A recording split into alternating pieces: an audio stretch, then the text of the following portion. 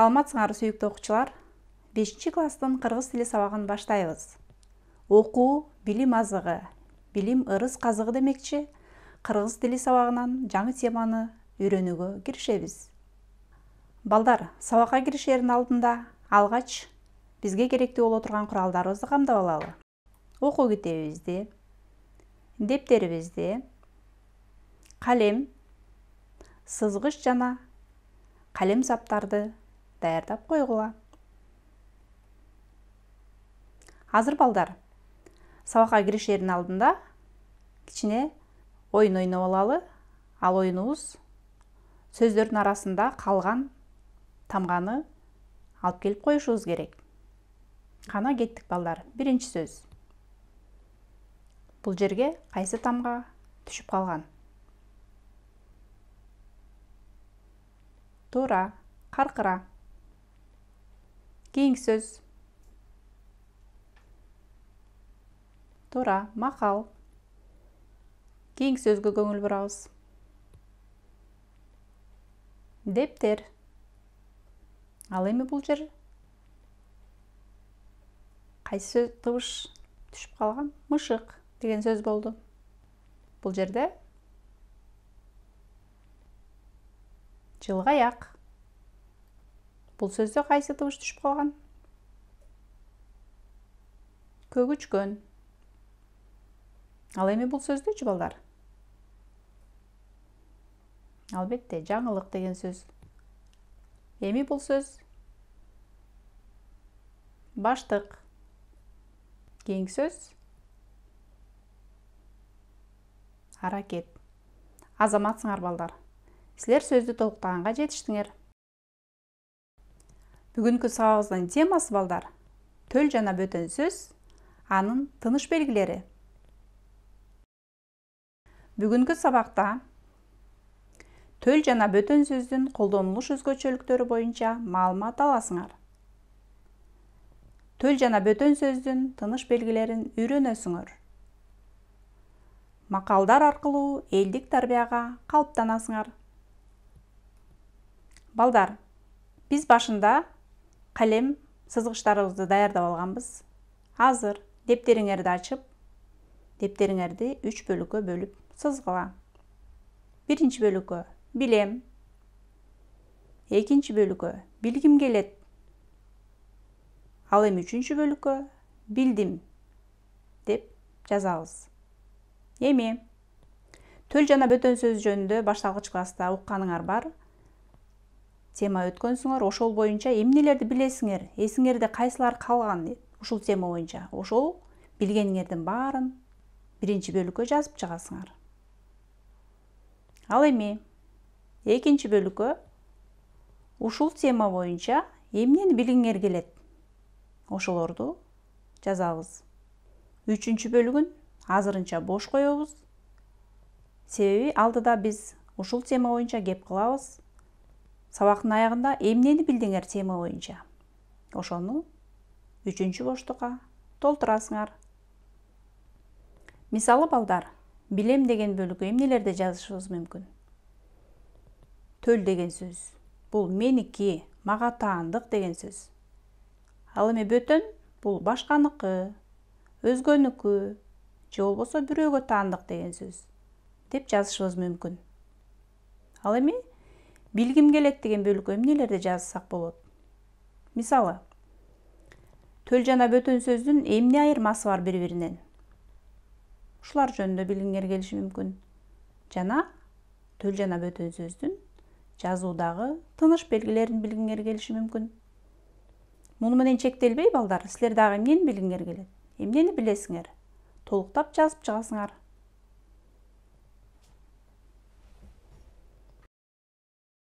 азыр балдар мисалдарга көңүл бөлөбүз. Кылыч жарасы бүтөт сөз жарасы бүтпөйт балдарым. Бирөөнүн көңүлүн калтырбагыла деп насаатын айтты акылман чоң энем бул жерден эмнени байкадык балдар? Деп насаатын айтты чоң энем деген менин сөзүм төл сөз. Ал эми кылыч жарасы бүтөт сөз жарасы бүтпөйт балдарым. Бирөөнүн көңүлүн калтырбагыла. Деген кимдин сөзү? Ал чоң энемдин сөзү. Көрдүңөрбү? Өзүбүздүн жана башка бирөөнүн сөзү биригип төл жана бөтөн сөз бир сүйлөмдө камтылды. Кийинки сүйлөм. Кемеңгер жазуучубуз чыңгыз айтматовдун айтканы бар. Тил улуттун кубанса кубанычы кайгырса кайгысы жана акыл эси бул сүйлөмдө дагы менин сөзүм төл сөз. Жана чыңгыз айтматовдун айткан сөзү бөтөн сөз болуп бир сүйлөмгө камтылды демек балдар төл сөз бул менин сөзүм же болбосо биздин сөзүбүз ал эми бөтөн сөз бул башка бирөөнүн сөзү экен эми төл жана бөтөн сөз деген эмне өз ара пикир алышууда өзүбүздүн сөзүбүз төл сөз деп аталат экен ал эми башка бирөөнүн сөзү бөтөн сөз деп аталат. Мисалы балдар азыр сүйлөмдөр менен мисал келтиребиз э? Мен аз билем бирок көптү билүүгө далалат кылам деп акылмандар айтышкан. Деген сүйлөмгө жакшылап көңүл бөлгүлө. Мен атайын тамгалардын өңүн дагы башкача кылып койдум. Себеби бөтөн сөз менен төл сөздү биз дароо айырмалаш үчүн бул сүйлөмдө деп акылмандар айтышкан менин сөзүм ал эми мен аз билем бирок көптү билүүгө далалат кылам деген башка бирөөнүн сөзү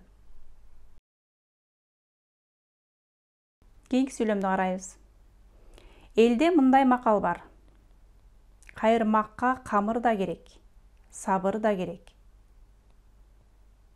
Бул жерде дагы төл жана бөтөн сөздүн тамгалары башка өң менен берилди бөтөн сөз кайсы албетте бул кайырмакка камыр да керек сабыр да керек. Бул элдин сөзү ал эми менин сөзүм элде мындай макал бар. Төл жана бөтөн сөздөн катышкан сүйлөм болду балдар. Бөтөн сөздөр жай суроолуу жана күчтүү сезим менен айтылат мисалы сенин ченемсиз күлүк экениңди ким билди деп кайгырып отуруптур бул жерде айтып жаткан адамдын ою жай гана айтылды. Тыныш белгиси да ошого карата башкача коюлат алдыда биз ошол жөнүндө да кеп кылабыз кийинки сүйлөмдү карайбыз сиздин балаңыз канчалык тырышчаак экенин билесизби деди мугалим бул сүйлөмдө биринчи сүйлөмдөн айырмасы кайсы бөтөн сөз суроолуу сүйлөм болду деди мугалим деген менин сөзүм төл сөз. Сиздин балаңыз канчалык тырышчаак экенин билесизби ал мугалимдин сөзү бөтөн сөз болуп келди кийинки сүйлөмдү карайбыз хан толбайга мага тулпар тандап бер дейт бул жерде мага тулпар тандап бер деген хандын сөзү бөтөн сөз. Хан толбайга дейт деген бул менин сөзүм төл сөз болду эми балдар төл жана бөтөн сөздүн тыныш белгилери тууралуу сүйлөшөбүз жай сүйлөм маанисиндеги бөтөн сөз төл сөздөн мурда келсе анда бөтөн сөздөн кийин үтүр сызыкча коюлат да бөтөн сөз тырмакчага алынат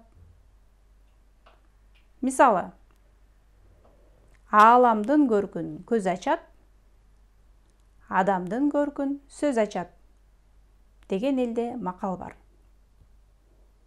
Эми балдар алдында биз схема коюп койдук тырмакчанын ичинде бөтөн сөз тыныш белгиси кандай коюлат экенин жакшылап көңүл бөлөбүз бөтөн сөздөн кийин үтүр белгиси сызыкча анан төл сөз жазылды.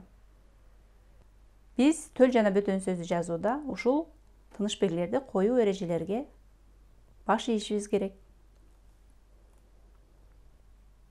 Эгерде бөтөн сөз суроолуу же илептүү сүйлөм болсо бөтөн сөздөн кийин суроо же илеп белгиси коюлуп бөтөн сөз тырмакчага алынат. Мисалы балаң ыйлап калат деп бияктагы ишти таштайсыңбы деп момунчалга бакырды ороскул бул жерде бөтөн сөз суроолуу сүйлөм болуп келди тыныш белгисин алдыдагы схемадан карайбыз бөтөн сөз тырмакчага алынды. Бөтөн сөздөн кийин суроо белгиси коюлду тырмакчага жабылып сызыкча андан кийин төл сөз жазылды. Тыныш белгилерди жакшылап эстеп калганга аракет кылабыз балдар. Кийинки мисалга көңүл бөлөбүз. Баарыбыз тең мүйүздүү бугу эненин балдарыбыз. Тирүү болсок бир дөбөдө өлсөк бир чуңкурда бололу деп коюшчу бул сүйлөм илептүү сүйлөм болду балдар. Же болбосо бөтөн сөз илептүү сүйлөм менен айтылды. Бул жерде дагы схемага жакшылап көңүл бөлгүлө бөтөн сөз тырмакчага алынып өзүнөн кийин илеп белгиси коюлду тырмакчадан кийин төл сөз жазылып сүйлөм бүттү эстеп калдык балдар. Эми кийинки тыныш белгисинин эрежесине көңүл бөлөбүз бөтөн сөз төл сөздөн кийин келсе өзүнөн мурда кош чекит коюлуп биринчи сөзү баш тамга менен тырмакчага алынып жазылат мисалы эл ичинде мындай макал бар. Жакшы атка бир камчы жаман атка миң камчы схемага жакшылап көңүл бөлөбүз балдар. Алгач төл сөз жазылды. Төл сөздөн кийин кош чекит коюлуп тырмакча ачылды тырмакчанын ичиндеги бөтөн сөз кандай жазылды балдар? Баш тамга менен жазылды. Аягында тырмакча жабылып чекит коюлду эми кийинки мисалга көңүл бөлгүлө бөтөн сөз сүйлөмдө төл сөздүн ортосуна келсе. Төл сөздөн кийин кош чекит коюлуп бөтөн сөз баш тамга менен башталып тырмакчага алынат тырмакчадан кийин үтүр сызыкча коюлат да төл сөз жазылат мисалы. Ал өлгөн аттын куу башын кармап сенин ченемсиз күлүк экениңди ким билди? Деп кайгырып отуруптур бул жерде дагы схемага көңүл бөлөбүз балдар. Төл сөз кош чекит коюлду. Тырмакчанын ичинде бөтөн сөз баштама менен жазылды. Тырмакча жабылгандан кийин үтүр жана сызыкча коюлуп төл сөз жазылды. Балдар бул тыныш белгилердин баардыгын азыр кыска убакыттын ичинде эстеп калууга мүмкүн эмес ошол себептен китебиңерде бул тема жазылган тыныш белгилери тууралуу карап мен айткан маалыматтарды эстеп дагы машыгасыңар деп ишенем. Балдар эми китебиңердин алтымыш сегизинчи бетин ачкыла жүз сексен сегизинчи көнүгүүнү чогуу иштеп көрөбүз. Төл сөздөр берилген экен. Ал эми көп чектин ордуна биз ылайык келген мааниси туура келген бөтөн сөздү коюп сүйлөмдөрдү толуктап жазышыбыз керек. Биринчи сүйлөмдү карайбыз. Элде мындай макал бар. Билим алуу ийне менен кудук казгандай. Биз жана башында кеп кылган тыныш белгилердин коюлушу эрежесин көрдүк э балдар элде мындай макал бар. Төл сөз кош чекит коюлду бөтөн сөз тырмакчага баш тамга менен жазылып алынды. Кийинки сүйлөм чоң энем мындай деди балдарым кечиримдүү сабырдуу болгула бул сүйлөмдө дагы төл сөздөн кийин кош чекит коюлуп бөтөн сөз баш тамга менен жазылды. Тырмакчага алынды. Кийинки сүйлөм бир акылман көптү билген адам акылман эмес билимин колдоно алган адам акылман деген экен көрдүңөрбү балдар бул жерде бөтөн сөз төл сөздүн ортосуна келди бир акылман төл сөз. Көптү билген адам эмес билимин колдоно алган адам акылман деген бөтөн сөз ал эми деген экен кайра төл сөз болуп келди тыныш белгисинин коюлуш эрежелерине дагы жакшылап көңүл коюп карап отурабыз балдар. Кийинки сүйлөм мугалим мындай деди балдар үй тапшырманы баарыңар аткардыңарбы бул жерде дагы төл сөздөн кийин бөтөн сөз келип атат бөтөн сөз суроолуу сүйлөм болду. Тырмакчанын ичинде суроо белгиси коюлуп тырмакча жабылды. Кийинки сүйлөм. Бала мындай деп кыйкырды. Сүйүнчү сүйүнчү чоң атамдар келатат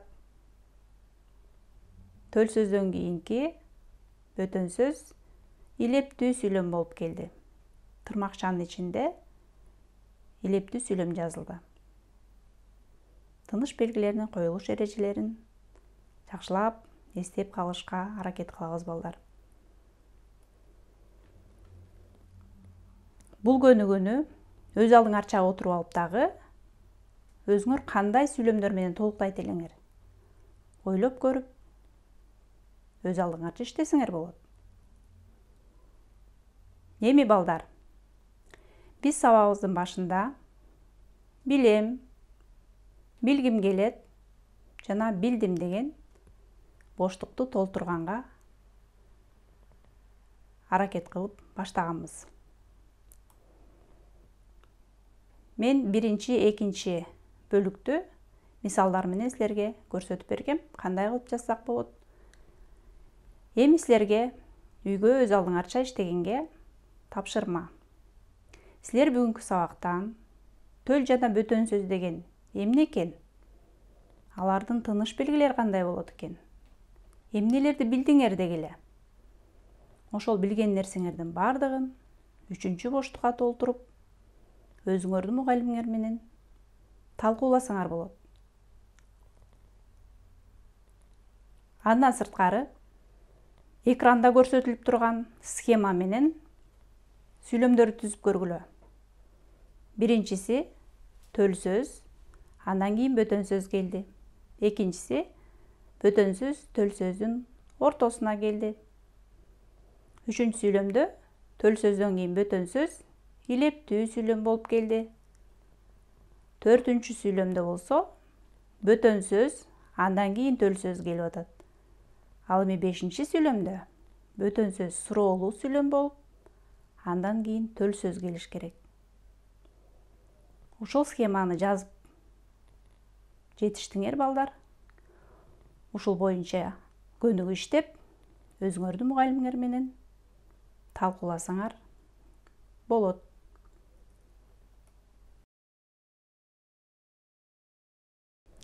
Ушуну менен балдар бүгүнкү сабагыбыз соңуна келип жетти. Бүгүнкү сабак силерге кызыктуу жана түшүнүктүү болду деп ишенем. Кийинки көрүшкөнчө саламатта болгула